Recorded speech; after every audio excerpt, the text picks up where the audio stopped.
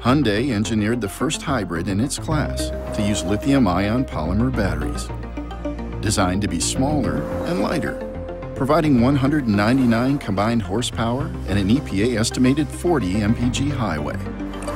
It's just one of the engineering advances we brought from our test facility to yours.